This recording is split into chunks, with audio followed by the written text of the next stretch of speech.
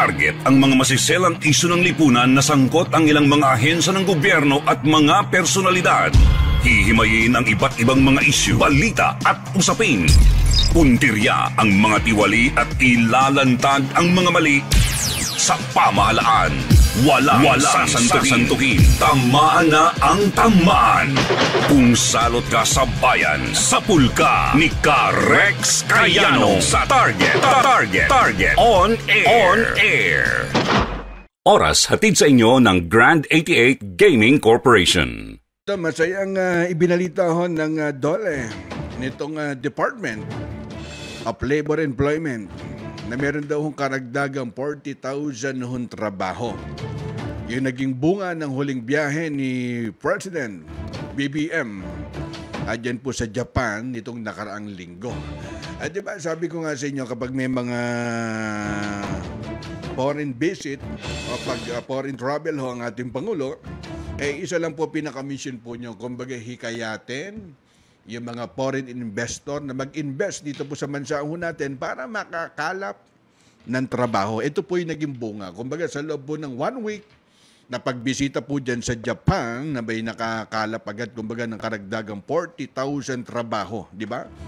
Eh, yun agad po yung datos na nakuha ho nila. Pero wala pa, kasi siyempre, natural, kababiyahe pa lang eh. Pero yung mga mag invest uh, dito sa bansa natin, sa datos po nila, eh po yung karagdagang trabaho. Napakalaking tulong. Eh isipin mo, yung 40,000 na yun, kung sakali, di ba, na matuloy po yon imbis na yung iba ho makiki makikipag uh, sapalaran pa ho sa ibang bansa, magiging OFW. Ay samantalang dito lang po sa bansa po natin, napakaraming trabaho. Alam niyo yung mga simpleng uh, negosyo lang po, yung napaka maliit lang na kapital. Nasa bahay ka lang eh, kumikita ka na kung tutuusin halos talo mo pa yung namamasukan po dun sa 8 oras, di ba? Eh samantalang uh, ganyan lang po ang gagawin po diyan. Di ba? Kaya nga ang panawagan po nila eh, sana nga ho eh, lalong umunlad na itong bansa ho natin sa pagpasok po ng 2024. Di ba? Ngayon, ang paliwanag po dyan ni Labor Secretary Bienvenido Laguesma, may mga investor daw po ng mga Hapon di ba, na maglaga ko ng kanilang puhunan at dito sa bansa ho natin pagpasok po ng 2024. Kaya karamihan ho dyan, eh siguro yung mga malilikhang uh, trabaho, eh mula ho dun sa power renew, renewable energy sector. Alam nyo, isa po dun sa nagiging problema po natin itong energy sector na to. Alam nyo, nung kami inimbitahan, Uh, mula ho dyan sa Lamitan City, Basilan Province, yung Baselco.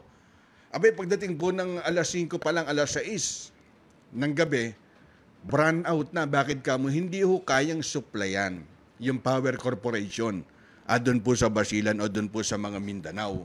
Kaya nung magkaroon po ng Senate hearing, ipinatawag yung mga pro- probinsya na nakakaranas po ng patay sindi. Kung di ako nagkakamali, ang uh, chairman ng uh, Committee ng Energy sa Senate, eh ito hong si Idol Rapi Tulpo. Di ba? Si Rapi pinatawag, lalo na ho dyan sa Occidental Mindoro. Alam niyo ba, na, nasundan po namin yung problema dyan po sa Occidental Mindoro. Isa ho dun sa naging hinaing, yung power shortage, kumbaga yung kakulangan ng supply ng kuryente. Paano ho kasi bidding ho yan, eh. Di ba? Business pa rin ho yan ng mga malalaking contractor kung sino ho ang papaboran ng nakaupuong gobernador doon po sa magsusupply o yung Power Corporation ho. Kaya isa po yan sa magiging uh, maglalagak na malaking puhunan. Uh, next year po, pagpasok po ng 2024, yung power and renewable energy sector. Isa po yan sa dapat pong tutukan kasi bumabagsak po ang ekonomiya. Bakit ka mo? Eh siyempre, kung patay sindi, paano yung mga tindahan sa palengke, kung saan pa man, lahat po yan apektado. Kaya bukod po doon sa dagdag ho na trabaho, eh posibleng bumaba pa rin po yung presyo ng kuryente. Abay, magandang balita po yan. Di ba? Pagka sinabing presyo ng kuryente bumaba, eh dagdag producer po yan. Samantala, tinatayang aabot naman po sa 305,000 na mga bagong trabaho. Yan daw po yung magbubukas sa pagpasok po ng 2024. Abay, good news mula ho sa Palasyo ng Malacanang, ha?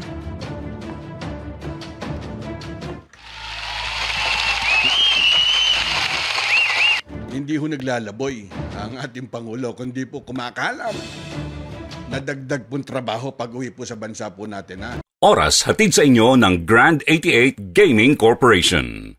Sumainyo ang isa na namang makabuluhang edisyon ng Target On Air. Kasama si Karex Kayanong. Abangan muli bukas alas 3 hanggang alas 4 ng hapon.